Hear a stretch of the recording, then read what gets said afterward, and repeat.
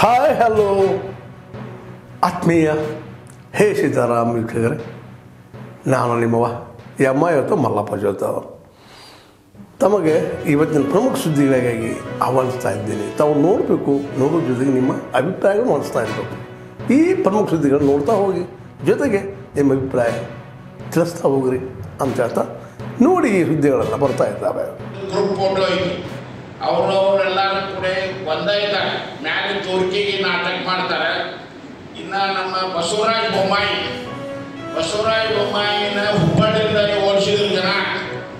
ಆದರೆ S R Bommai ಅವ್ರು ನಾವು ಕಟ್ಟು ವಿರೋಧ ಮಾಡ್ತಿದ್ವಿ. ಆದ್ರೆ ಅವರಲ್ಲಿ ಒಂದು ಜಾತ್ಯಾತೀತ ಸಿದ್ಧಾಂತ ಇತ್ತು. ಅವ್ರು ಎಂ ಎನ್ ರಾಯರ ಅನ್ಯಾಯ, ಅದಕ್ಕೆ ಅವ್ರಿಗೆ ರಾಯಿಸ್ಟ್ ಬೊಮ್ಮಾಯಿ ಇದ್ದಿದ್ರು ಆದ್ರೆ ಬೊಮ್ಮಾಯಿ, ಬಸವರಾಜ ಬೊಮ್ಮಾಯಿ ಅದನ್ನ ಸಮಾ ಅವ್ರು.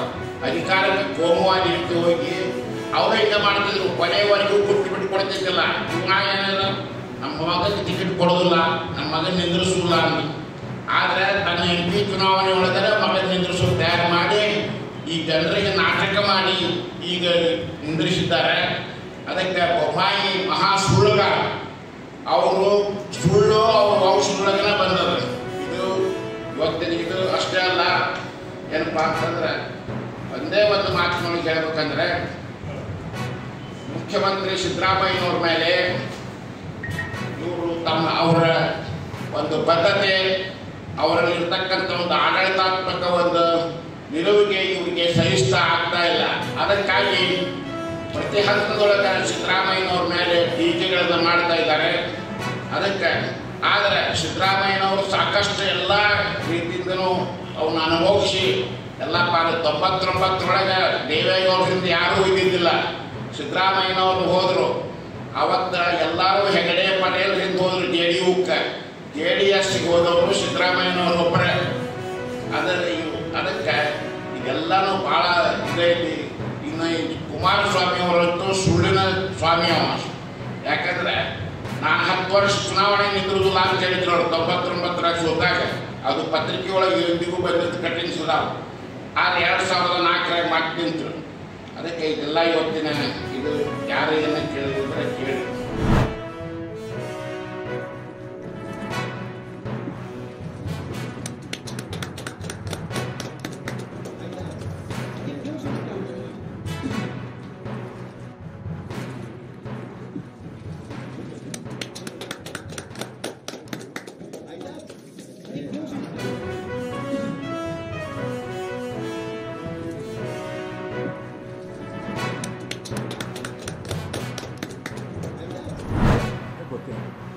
ಪಾಪ ಅವರು ಇನ್ನೂ ಹುಡುಗ ಮಾತಾಡಿ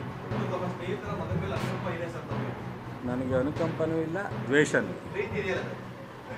ಪ್ರೀತಿ ಇದೆ. ಎಲ್ಲರ ಮಕ್ಕಳ ಮೇಲೂ ಪ್ರೀತಿ ಇದೆ. ಅವನು ಒಬ್ಬ ನನ್ನ ಮಗನ ಸಮಾನ.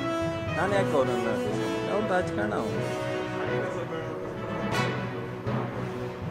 ಇಲ್ಲ, ಅಲ್ಲೇ ತೀರ್ಮಾನ ಆಗಿದೆ ಮಾಡಿ ಯಾವುದು ಬಂದ ನೋಡ್ರಿ, ಎಲ್ಲವನ್ನು ಎಲ್ಲರನ್ನೂ ಕೇಳಬೇಕು ಅಂತ ಅಂದರೆ ಮಾಡೋಕ್ಕೆ ಕಷ್ಟ ಆಗುತ್ತೆ. ಒಂದು ಜಾಗ ನಿಗದಿ ಮಾಡೋದನ್ನು ಎಲ್ಲರನ್ನೂ ಕೇಳಬೇಕು ಅಂತ. ನಮ್ಮಪ್ಪ ಸಾಹಿತ್ಯ ಪರಿಷತ್ನಲ್ಲಿರೋರು ಸಾಹಿತಿಗಳಲ್ವಾ? ಸಾಹಿತ್ಯ ಪರಿಷತ್ತಲ್ಲಿರೋರು ಸಾಹಿತ್ಯ ಆಸಕ್ತರಲ್ವಾ ರಾಜ್ಯದ ಸಾಹಿತ್ಯ ಪರಿಷತ್ತು, ಜಿಲ್ಲೆಯ ಸಾಹಿತ್ಯ ಪರಿಷತ್ತು, ಜಿಲ್ಲಾ ಆಡಳಿತ, ಶಾಸಕರು, ಯಾರು ಇವರೆಲ್ಲ? ನಾವೆಲ್ಲ ಸಾಹಿತ್ಯ ಪ್ರೇಮಿಗಳಲ್ವಾ? ಹೌದು, ಸಿಟಿನಲ್ಲಿ ಗೊಂದಲದಲ್ಲಿ ಇದ್ದಾರೆ.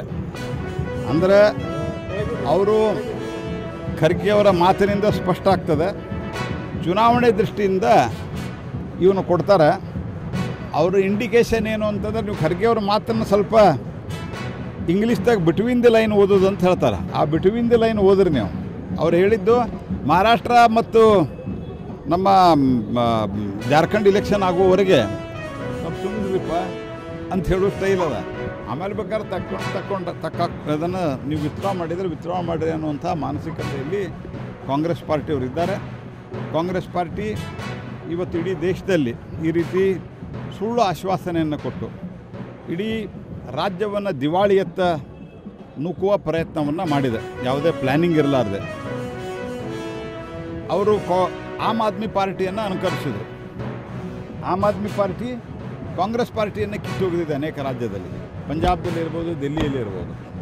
ಇವತ್ತು ಆಲ್ಮೋಸ್ಟ್ ದಿಲ್ಲಿಯಲ್ಲಿ Congress party zero hundred percent zero ಹಾಗಾಗಿ ಕಾಂಗ್ರೆಸ್ ಪಾರ್ಟಿಯ ಸ್ಥಿತಿ ಏನಾಗಿದೆ ಅಂತಂದ್ರೆ ಚುನಾವಣೆಗಾಗಿ ಸುಳ್ಳು ಆಶ್ವಾಸನೆಯನ್ನು ಕೊಟ್ಟು ಜನರ ಕಣ್ಣಿಗೆ ಮಂಕು ಬೂಜಿಯನ್ನು ಇಲ್ಲಿವರೆಗೆ ತಾವೆಲ್ಲ ಸುದ್ದಿಗಳು ನೋಡ್ತಾ ಬಂದ್ರಿ, ನೋಡಿದಿರಿ.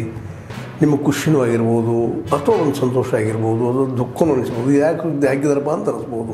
ಏನು ಅನಿಸಲ್ಲ ನಿಮಗೆ. ನಿಮ್ಮ ಅನಿಸಿಕೆಗಳು ನಮ್ಗೆ ಭಾಳ ಪ್ರಮುಖ.